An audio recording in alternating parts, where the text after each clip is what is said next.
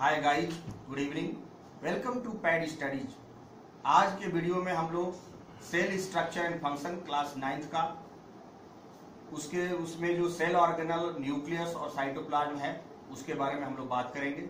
सबसे पहले जो है, वो है nucleus nucleus it is also known as nuclei in plural. Nucleus is the largest and distinct cell organelle which controls all the activities of the cell.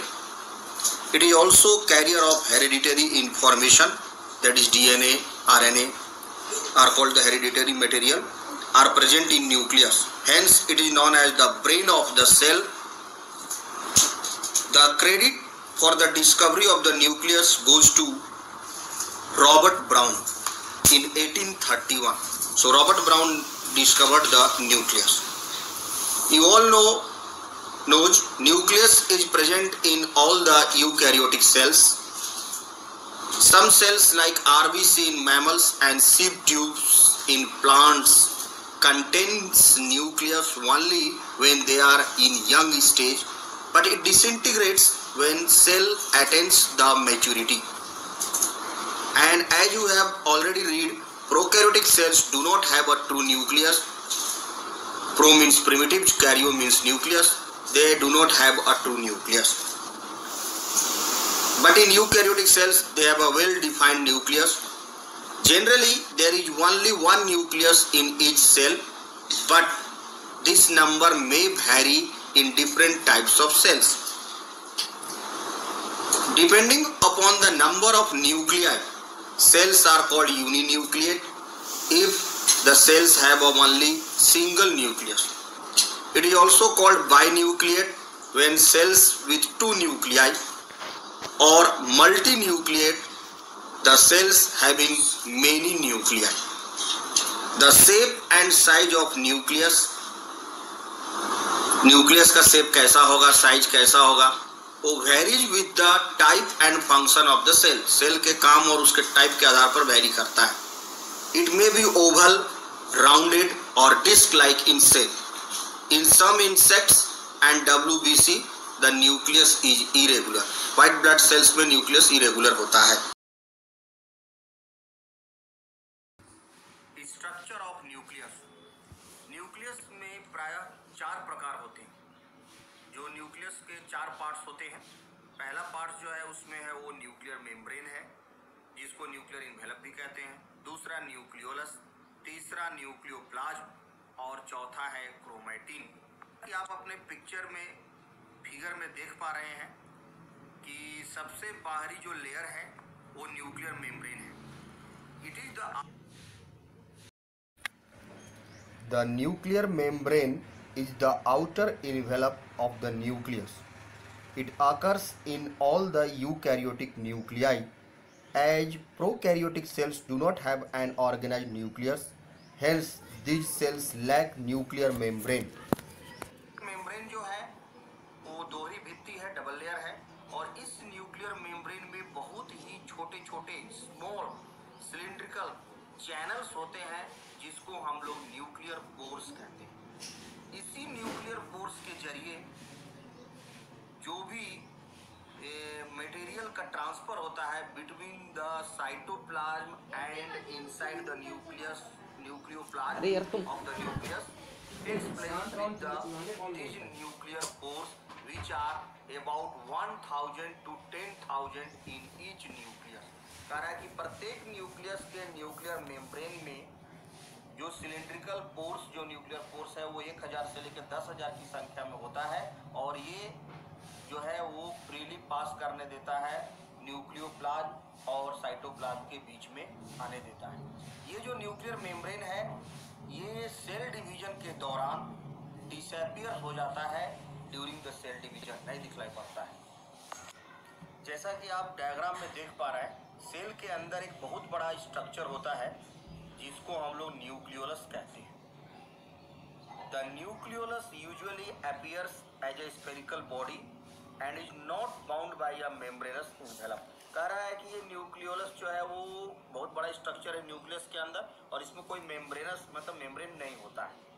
A cell में है one or more nucleoli मतलब कह रहा है कि उस nucleolus के अंदर बहुत सारा एक से दो, एक से या दो, तीन, चार न्यूक्लियोलस भी हो सकता है। ये डिपेंड करता है upon it synthetic activity nucleolus के अंदर जो है राइबोजोमल प्रोटीन्स आर प्रोटीन्स और RNA ribonucleic acid molecule होता है। यहाँ पर एक चीज़ नोटिस करना है कि जो ये न्यूक्लियोलस है, इसमें राइबोजोमल प्रोटीन होता है।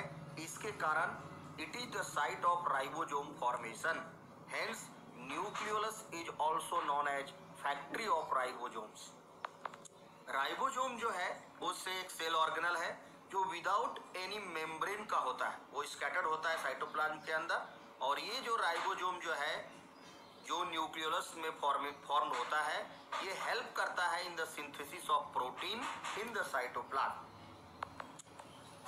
nucleoplasm nucleus is filled with a transparent granular matter called nucleoplasm और न्यूक्लियर सैप यानी न्यूक्लियस के अंदर जो फ्लूइड जो लिक्विड मटेरियल प्रेजेंट होता है, उसको हम लोग न्यूक्लियोप्लाज्म कहते हैं।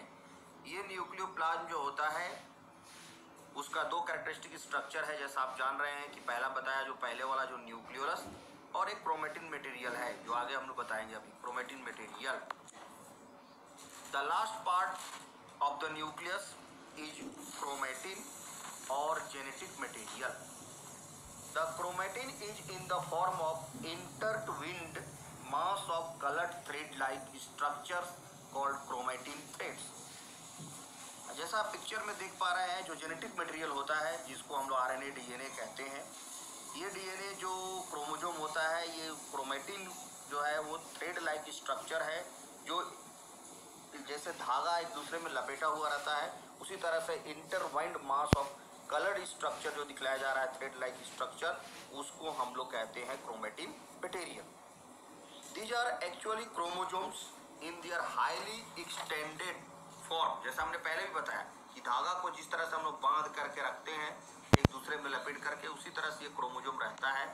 Chemically the chromatin is compose of DNA deoxyribose nucleic acid and protein का ये बना होता है केमिकल मटेरियल दस क्रोमैटिन में be describe as loosely organised DNA present in the nucleus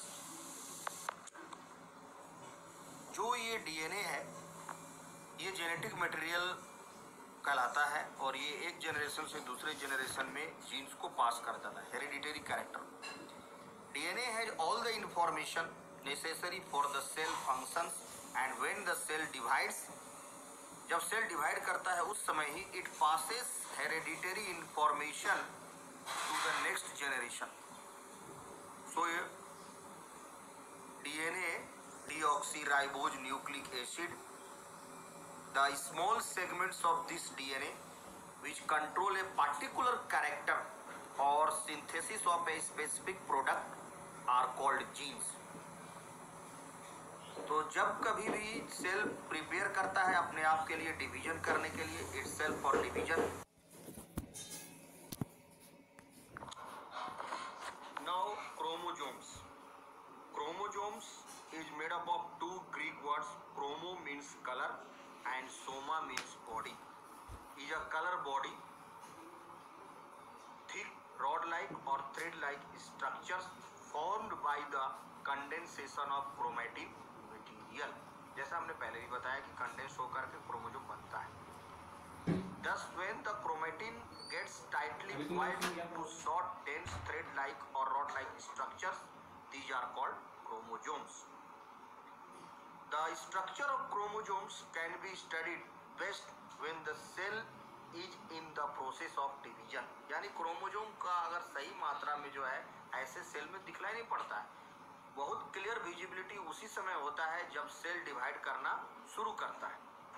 Each chromosome has two arms प्रत्येक chromosomes का दो arms होता है and chromosomes are always in pairs और क्रोमोजोम हमेशा जोड़ा में होता है। तो जहाँ पर क्रोमोजोम का दो आर्म होता है at some point along the length of the chromosome is present a spherically weakly staining और clear construction called centromere middle body में आप देखते हैं कि क्रोमोजोम्स का स्ट्रक्चर आप डायग्राम में देख पाएँगे, पा रहे हैं। उसमें एक मिडिल में स्ट्रक्चर होता है जिसको हम लोग कहते हैं सेंट्रोमियर और प्राइमरी कंस्ट्रिक्शन भी बोलते हैं। और दो आर्म्स जो क्रोमोजोम्स का होता है, वो एक दूसरे से बंधा हुआ रहता है और help together at the centromere during cell division जब होता each arm of the chromosome makes an identical copy of itself उसका एक आइडेंटिकल कॉपी वो बनाता है, जिसको हम लोग डीएनए कॉपिंग कहते हैं। वो आपको आगे चल के पढ़ना है, लेकिन chromosome makes an identical copy of itself and both the copies remain attach to the centromere यानी जब सेल डिवाइड किया तो उसी का एक एग्जैक्ट कॉपी बन गया और दो पेयर में होकर के वो सेंट्रोमियर में अटैच्ड हो गया। और उस समय उसको हम लोग कहते हैं क्रोमेटिड्स आप डायग्राम में देख रहे हैं कि एक क्रोमोजोम का डुप्लीकेट होकर के दो डॉटर क्रोमोजोम्स बना है, जिसको हम लोग सिस्टर क्रोमेटिड्स कहते हैं। एक का डुप्लीकेट बन के दूसरा वहाँ पर तैयार है और वो क्रॉस में लगता है, लेकिन वही क्रॉस में अटैच होकर के क्रोमेटिड्स बनाता है।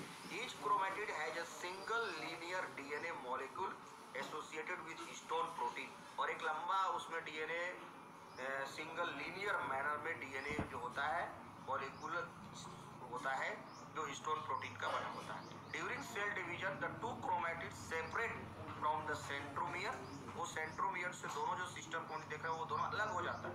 And become independent daughter chromosomes वो बन जाता है। सेल डिवीज़न के बाद जो है, वो सिंगल इंडिपेंडेंट डॉटर क्रोमोजोम्स बन जाता है। क्रोमोजोम्स का नंबर जो है, वो कितना होगा, वो पार्टिकुलर ऑर्गेनिज्म में वेरी करता है। ऑल द क्रोमोजोम जैसे हमने पहले भी बताया present in normal cells are in pairs and the number of pairs in a cell is referred to as the diploid number that is the 2n as the this number of chromosomes varies human beings have 46 chromosomes or diploid chromosomes is 23 pairs 2n ascaris roundworm megal ascaris uh, megalocephalia or that is called ascaris lumbricoids roundworm have two diploid number of chromosomes दो ही होता है। और Oryza sativa rice में 24 होता है। हर organism में प्लांट में एनिमल में अलग अलग नंबर ऑफ़ क्रोमोजोम्स होता है। जब क्रोमोजोम्स पेयर में होता है, उसको हम लोग डिप्लॉयड कहते हैं। सिंगल होगा तो उसको हम लोग हेप्लॉयड कहेंगे। एन 46 का आधा 23 हुआ तो 23 एन हुआ और 46 टू एन हुआ। और किस किस ऑर्गेनिज्म में कितना कितना है, एक आठ से दस ऑर्गेनिज्म का अलग अलग एक पिक्चर में आपको डायग्राम में दिखलाया गया है, आप उसको देखिए। जैसे कि आप देख रहे हैं कि होमोसेपियंस में 46 होता है फेलिस डोमेस्टिका कैट में 38 होता है, अलग अलग नंबर ऑफ़ क्रोमोजोम्स होता है, और ये पेयर में होता है सेल के अंदर होता है, जब सेल रहता है तब। और डिवाइड होकर के कैसे होगा, वो क्रोमेटिड्स बनेगा, ये हमने आपको बताया। डायग्राम के माध्यम से समझिए। कि सिस्टर क्रोमेटिड्स में बनता है और फिर डॉटर क्रोमेटिड्स सेल डिवाइड होने के बाद वो इंडिपेंडेंट होकर के अलग हो जाता है।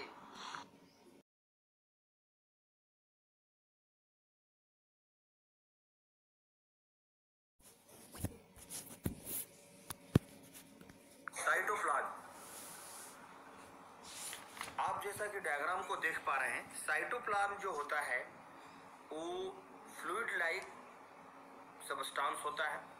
जो jelly like substance present inside the cell is called cytoplasm जो डायग्राम में आप देख रहे हैं उसके अनुसार जो न्यूक्लियस को अगर हटा देंगे और सेल के अंदर जो पूरा जितना जो फ्लूड मटेरियल है लिक्विड मटेरियल है उसी को हम लोग साइटोप्लाज्म कहते हैं Thus, cytoplasm is that mass which occurs between cell membrane and nuclear membrane. This cytoplasm consists of two types of structure, the matrix and the organelles. The matrix जो होता है, the matrix is the fluid like structure is present in the cytoplasm. कह रहा है कि जो matrix जो होता है, वो जो द्रव है, जो सेल के अंदर प्रेजेंट होता है, उसको हम लोग मैट्रिक्स कहते हैं और जो उसमें जो ऑर्गेनल्स होते हैं, वो साइटोप्लाज्म के अंदर ऑर्गेनल्स रहते हैं बहुत सारे, चाहे जैसे प्लास्टिड हो गया या आपका इंडोप्लाज्मिक रेटिकुलम हो गया गोल्गी बॉडीज हो गया, ये सब आगे हम लोग करेंगे तो वो ऑर्गेनल्स है। जो मैट्रिक्स है, वो कंटेंट्स अबाउट 90 परसेंट वाटर उसमें होता है and proteins of high molecular weight बाकी 10 परसेंट उसमें प्रोटीन का होता है। If water content of a cell decreases its vital activity is also reduced इसलिए सेल के अंदर वाटर का होना बहुत ज़रूरी है। आप देख रहे हैं कि साइटोप्लाज्म में 90 परसेंट वाटर है। तो सेल का वाटर कंटेंट अगर घट जाता है तो उसका बहुत सारी आवश्यक क्रियाएँ जो होता है, वो कार्य करने की क्षमता भी घट जाती है। और साइटोप्लाज्म जो होता है, उसके अंदर फ़ूड मटेरियल का भी स्टोरेज होता है। साइटोप्लाज्म जो होता है often differentiated into inner granular region जो अंदर में साइटोप्लाज्म का जो ग्रैनुलर लाइक मतलब दानेदार जो स्ट्रक्चर होता है, जो गाढ़ा होता है, उसको हम लोग इंडोप्लाज्म कहते हैं। एंड पेरिफेरल जो उसके आउटर रीजन में जो सेल मेम्ब्रेन यानी के आसपास जो होता है मेम्ब्रेन के आसपास क्लियर रीजन जो होता है, वो उतना गाढ़ा नहीं होता, वो क्लियर विजिबल होता है, उसको हम लोग इंडोप्लाज्म कहते हैं। और आपको ये यहाँ पर जानकारी होनी चाहिए कि इस साइटोप्लाज्म के अंदर हज़ारों हज़ार several hundred chemical reactions takes place in each cell without interfering each other बिना एक दूसरे को रुकावट पैदा किए हुए इस साइटोप्लाज्म के अंदर 100 से भी ज़्यादा रासायनिक अभिक्रियाएँ होती हैं। These reaction supply energy for cellular activities और यही सेल को फ़ंक्शन करता है और सेल का सारा क्रिया होता है, जो उस सेल के अंदर जो सेल ऑर्गेनल्स होते हैं, उनके द्वारा किया जाता है। The reaction takes place in sub microscopic membrane bound structure called cell organelles cell organelles जो मेम्ब्रेन बाउंड स्ट्रक्चर होता है, उसी के अंदर ये हंड्रेड्स ऑफ़ केमिकल रिएक्शंस होता है which makes the cell function और ये जो सेल ऑर्गेनल्स है, ये सब microscopic structure which we will discuss later on so thank you like share and subscribe the channel for our motivation thank you very much